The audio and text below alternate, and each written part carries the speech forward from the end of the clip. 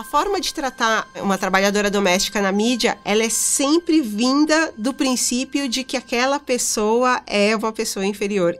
Quando eu comecei a dar entrevistas, é que eu fui perceber também esse tipo de, de visão que as pessoas têm quando me perguntam quem pensa para mim nas coisas que eu escrevo, quem escreveu o meu livro, como é que eu tinha conhecimento de séries e filmes.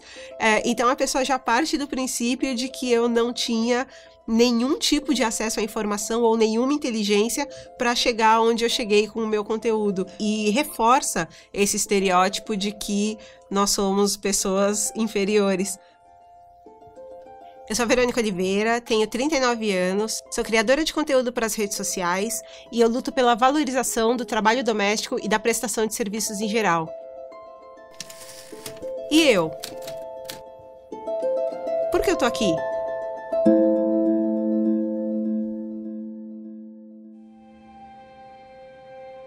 Sempre gostei muito de cuidar da minha própria casa, mas eu não imaginava que um dia eu poderia trabalhar com isso, até que um período em que eu passei por problemas, eu, problemas psicológicos, psiquiátricos, eu fiquei internada num, num, hospital e eu fui afastada pelo INSS do meu trabalho.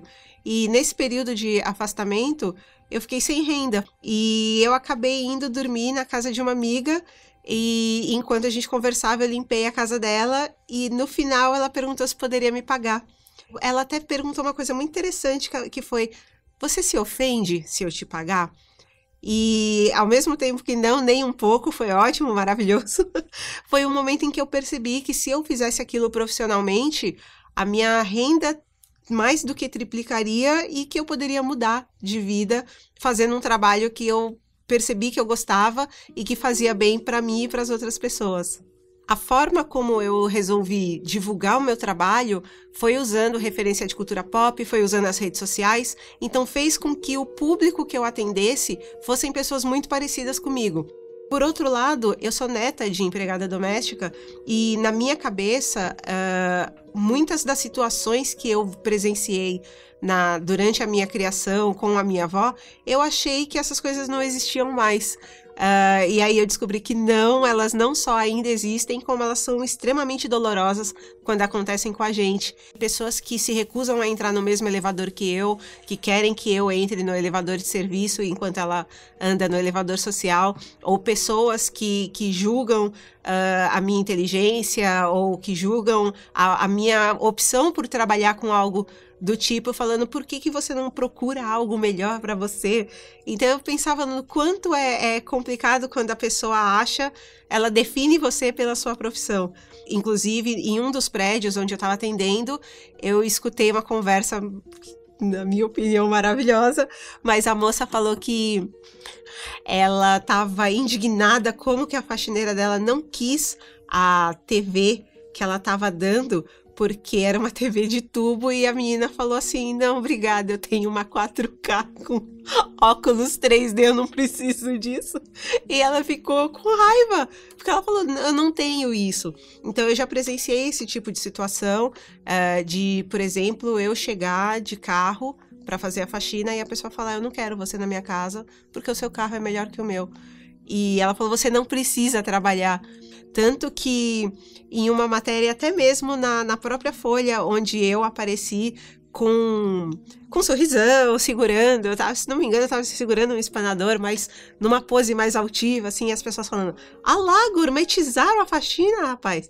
Porque, quer dizer, não tava, não tava chorando, não tava numa favela, e aí as pessoas estranharam e começaram a atacar a foto e a reportagem, dizendo: Mas como assim? Quem ela pensa que ela é pra estar tá tão feliz? Ela é faxineira e tá sorrindo? Sempre tem uma reportagem do tipo: Filho da faxineira formou em medicina qual é a importância de dizer que é o filho da faxineira? É porque no, no consenso geral, na mentalidade das pessoas, o filho da faxineira nunca ia poder estudar, o que é totalmente é, é uma, uma visão totalmente inadequada, ainda mais levando em conta que hoje em dia trabalhadoras em geral elas investem o dinheiro no, na educação dos filhos, é a primeira coisa.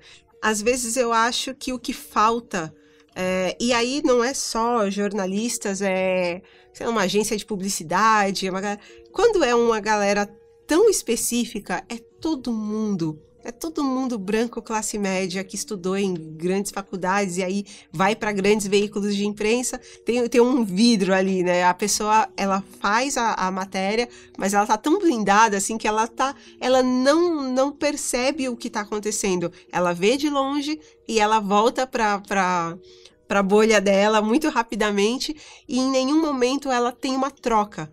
E eu acho que o que falta na mídia é a troca com o tempo, fazendo as faxinas e devido à demanda, eu tinha. Eu comecei a ter uma equipe de pessoas trabalhando comigo. E a menina veio fazer uma matéria para mostrar que eu estava construindo uma equipe. E ela falou assim: vamos fazer uma, um enquadramento, você mandando nela. Eu falei: não é assim que a gente trabalha. E ela já tinha aquilo, ela chegou com tudo muito escrito, pronto, tal.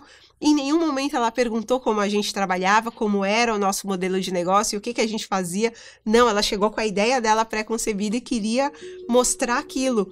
E no fim das contas a matéria ficou horrorosa, porque a gente não conseguiu trocar me perguntam muito: ah, você acha que agora esse período da pandemia vai fazer com que as pessoas é, deem mais valor? Eu escuto tanto essa pergunta e eu falo: claro que não. A primeira morte no Rio de Janeiro foi quem?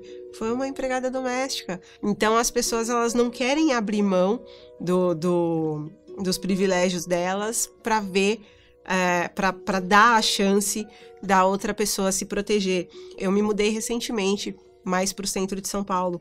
Mas até então eu morava no extremo da Zona Leste e eu precisei ir ao médico. E até então eu ainda não tinha saído de casa. E quando eu saí, eu percebi que na ZL estava tudo normal, vida normal, as ruas cheias, todo mundo fazendo suas, suas coisas normal.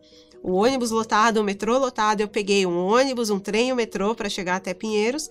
E chegando lá, tinha passeador de cachorro, jardineiro, entregador de comida e, e faxineiras passando. Só. E aí eu pensei, eles podem se proteger porque toda essa galera saiu lá da minha quebrada, provavelmente, para vir para cá fazer com que eles tenham o, o, a chance de se proteger.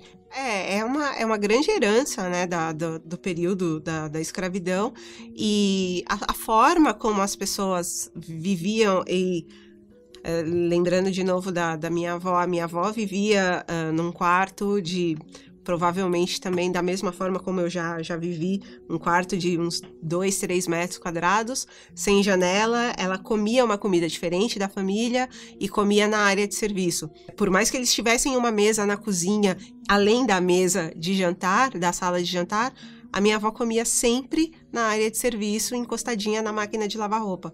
E ela trabalhou lá por volta de 33 anos. E até certo ponto, acabou sendo uma coisa normal na minha cabeça. Eu já era adolescente quando eu passei a questionar, falava, vó, isso não tá certo. E aí ela falava, faz tanto tempo, né? Então, o que, que eu vou fazer para mudar isso? Ah, já tô ficando velha, vou sair daqui e isso acaba. E eu me lembro, por conta da, das pessoas que eu tenho proximidade, da, da, de quando eu era mais nova, de pessoas dizendo o quanto aquilo era inconcebível, como elas gostariam de ter direitos garantidos.